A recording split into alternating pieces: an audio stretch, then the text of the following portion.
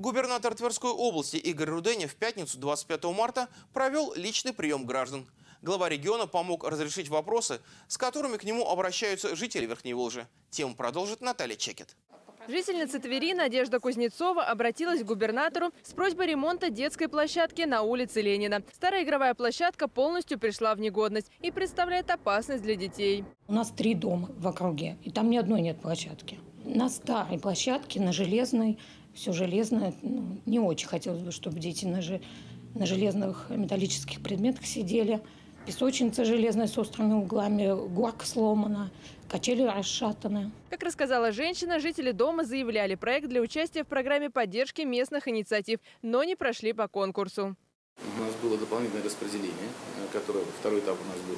А, вы попали с детской площадкой, были включены. Значит, далее у нас есть софинансирование от города Твери, и мы договорились а, при хорошем стечении обстоятельств все это сделать до 1 июня а, текущего года, к Дню э, защиты детей. На площадке планируется установить игровой комплекс, качели, песочницу и игровой домик. В школе деревни Малая Коробина Зубцовского района есть потребность в капитальном ремонте крыши. Сейчас здесь обучается 44 ребенка. Из них 27 ребят приезжают из соседних деревень. На данный момент классы и помещения, где течет крыша, закрыты.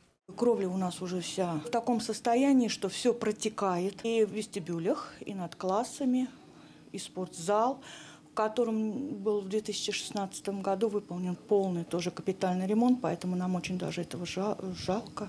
Появился на стенах грибок, ставим даже тазики. Вот когда была оттепель, пришлось капает. И Самое главное, что мы боимся, вдруг замкнет электропроводка, что опасно, конечно, для жизни. Как сообщил губернатор, необходимые средства на ремонт выделены. Есть софинансирование со стороны муниципального образования. В апреле начнется закупка материалов. Всю работу должны завершить в июле.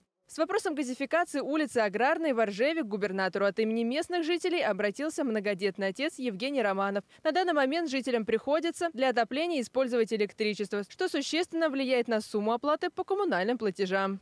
Наша улица, небольшой микрорайон, молодые семьи на этапе строительства, хотелось бы уже понимать э, перспективы.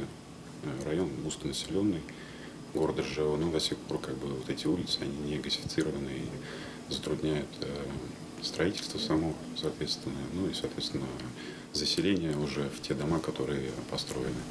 Вот, ну, все связано с оплатой как бы электричества и всех остальных коммуникаций.